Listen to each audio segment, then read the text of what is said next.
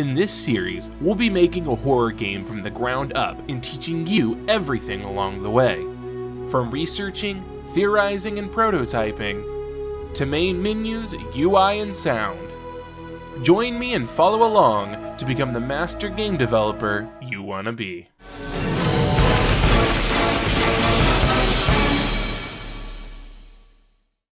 Hello everybody and welcome back to making a horror game from scratch. Today we're going to be making a interact and a door system.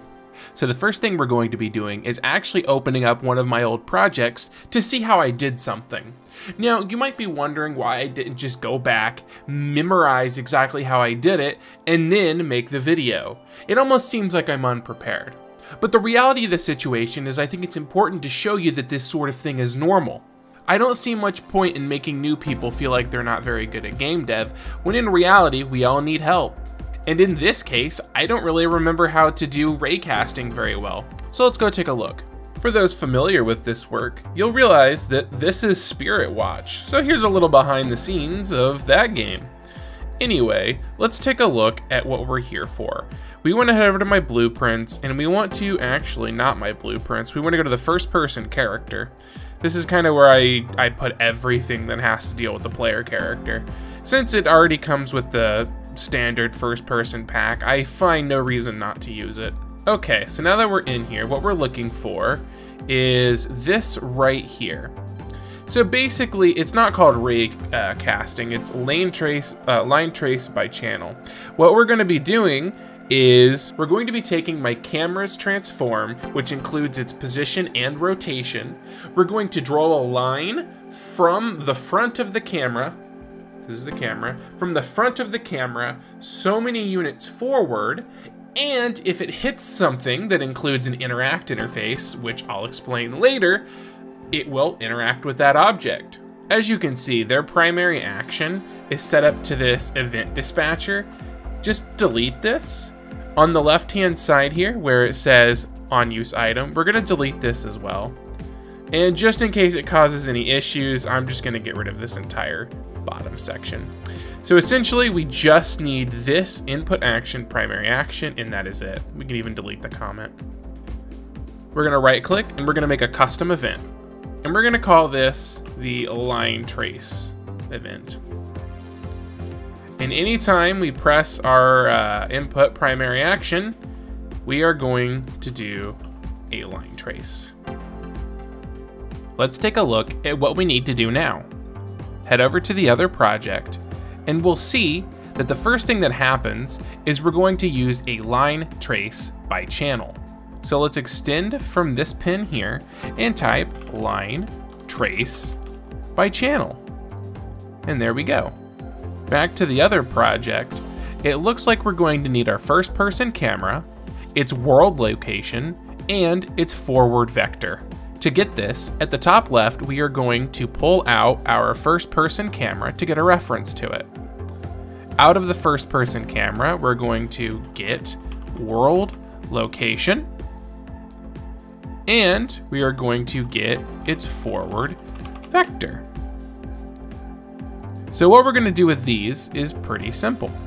It might seem complicated, but I assure you, if you follow along, it won't be too bad. The get world location is going to go into start. The reason that this is going to go into start is because this is where we want our line to start, where our camera is located. We want the forward vector because we need to know which direction the camera is facing. However, we can't just plug that into the end. That wouldn't make any sense. So instead, what we're going to do is we're going to pull out of this, and we're going to type in multiply. Wait, wait, wait. Mul multi. You gotta spell it right. Multiply. There we go. And on this bottom one, we're actually going to right click it, and we're to convert the pin to a single precision float. Now the reason we're going to do this is because we're actually going to set this to 225. Now we might adjust this number, however, the reason that we're doing this is, well, we need the forward vector and then we need 225 units forward from the forward vector. However, right now, this doesn't know where to go. I know that might sound crazy, but it's not starting anywhere. However, we have a start. It's the world location.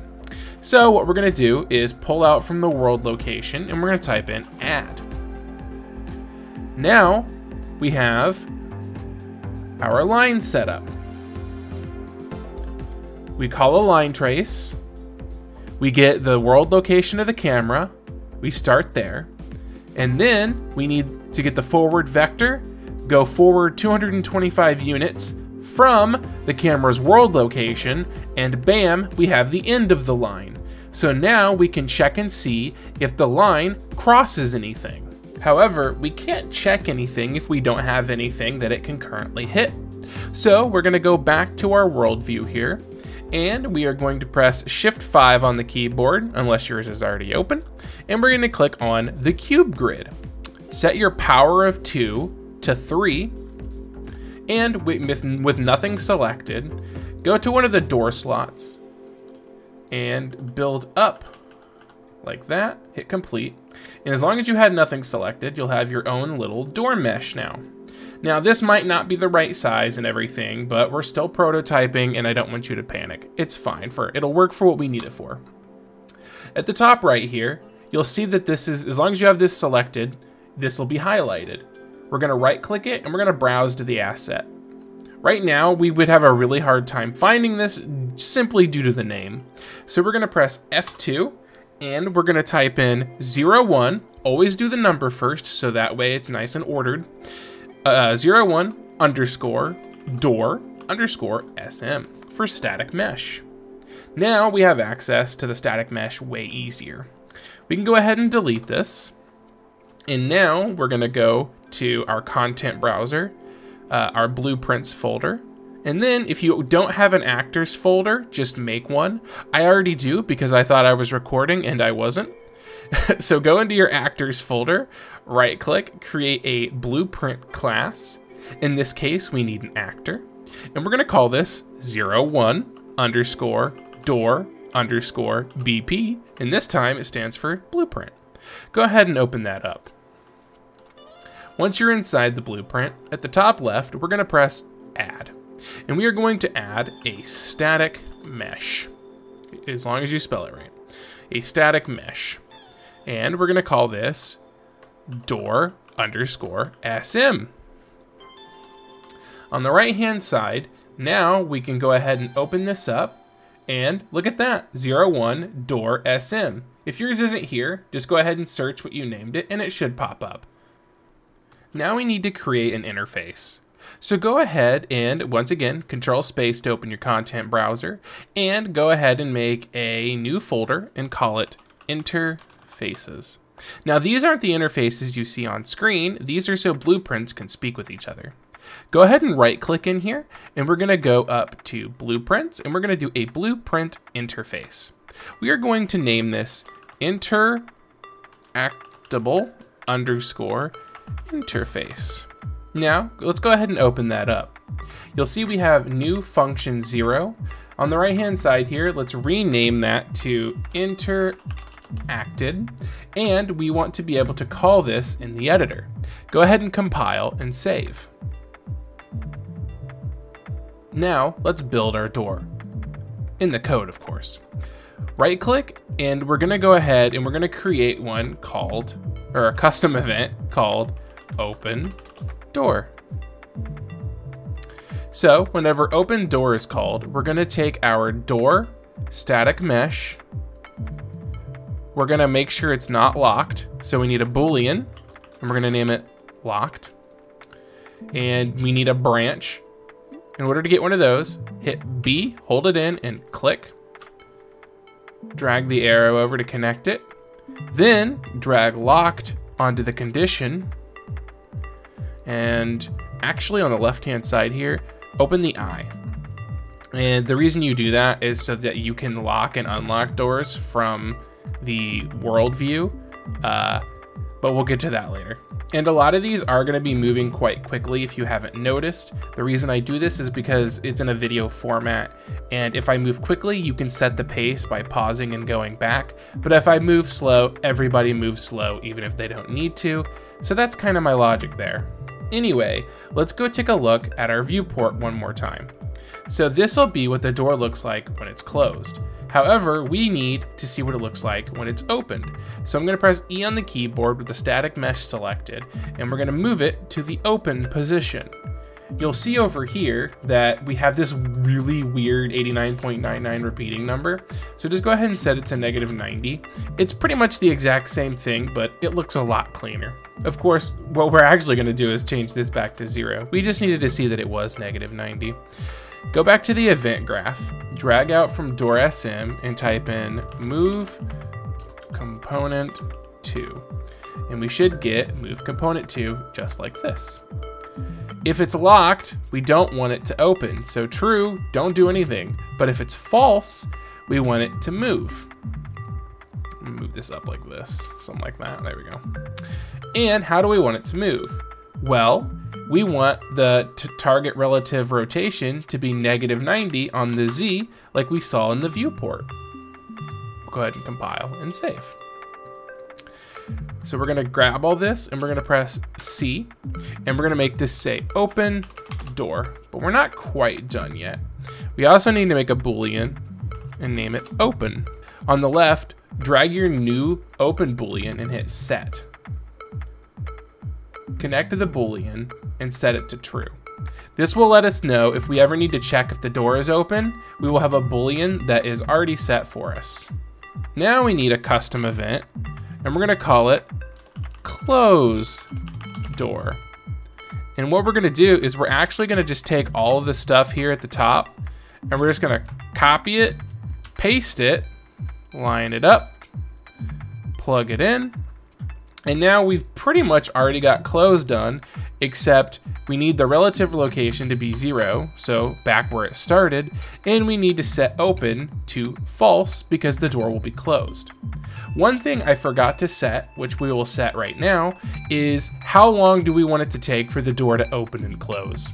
So right now, the time would be 0.2 seconds. That'd be very quickly. So let's just set both of these to two seconds. And if we don't like it later, we can come back and change it. Pretty simple. Go ahead and make another comment and we're going to call this close door. So now we can set something up. Because we have open and close completed, we can make a custom event called toggle. So toggle is going to look at whether or not the door is locked first off.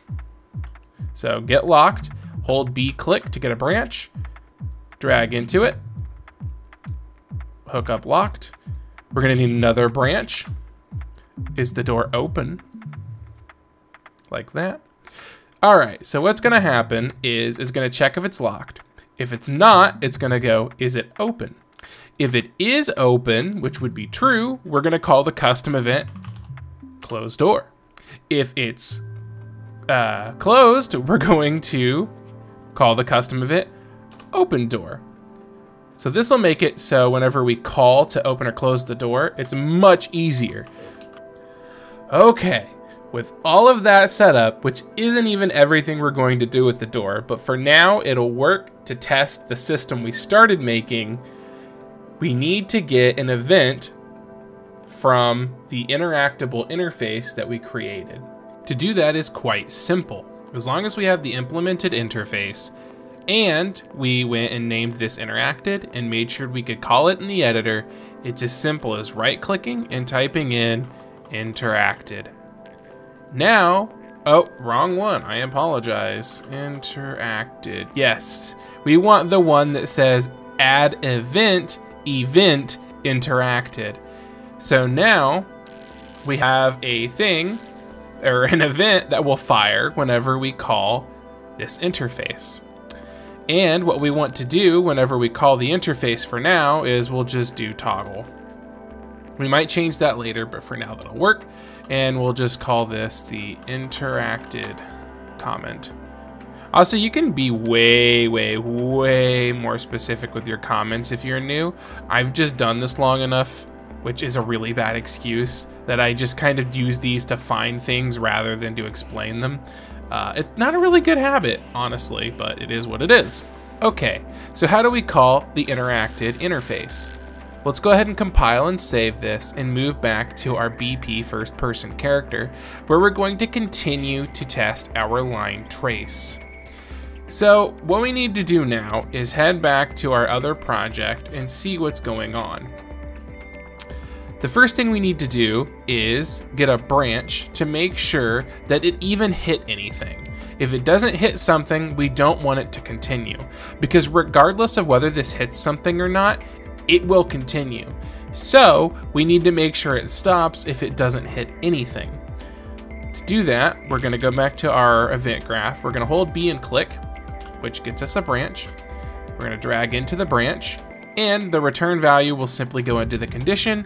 So therefore, if it hits something, it will say true. If it doesn't hit something, it won't do any, well, it'll say false and we won't hook that up. On the out hit, we're actually gonna do break hit result. So what this is gonna do is give us information about whatever it hit if it hit anything. So in this case, we want to make sure the hit actor has, we're gonna do implemented, does implement interface, okay? So you can close this and it'll actually stay open there for you. And the interface we're looking for is the interactable interface. And we're gonna create a second branch. So we're gonna check, did it hit something? If yes, did that something have the interactable interface? If yes, we are actually going to do, this time we're gonna type in inter, interacted, but this time the message. And the target is going to be the hit actor.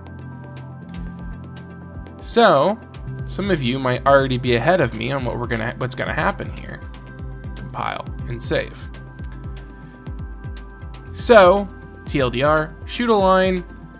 Is it an actor that has an interactable interface? If yes, send the message interacted. Oh, well look at that. Our door can receive interacted messages and it will toggle. So now, if this is set up correctly, let's go ahead and put in one of our doors it doesn't have to be perfect. As long as it looks like it's in the doorway, I don't really care. We'll go ahead and hit play. So, if we set everything up correctly, we'll go up to the door and we'll click. It sees that it has the interactable interface and sends it a message to which the door says, okay, I have something I can do whenever that happens. If we click again, it will then close. Now we're gonna have to refine this a little bit um, but for now, this is doing pretty great, I have to say. I think these doors are too small. Yeah, these doors are too small, so that's something else we're gonna have to work on. But for now, that's the end of this episode. We now have an interact system in place and our doors set up. If you're enjoying the series, please like, comment, and subscribe, and consider donating to my Patreon as it will help me continue to make things for free like this and continue to launch free games. I'll go ahead and link my itch.io in the description below so you can check it out if you want to download and try some of those. Thanks for watching, and I'll see you in the next episode.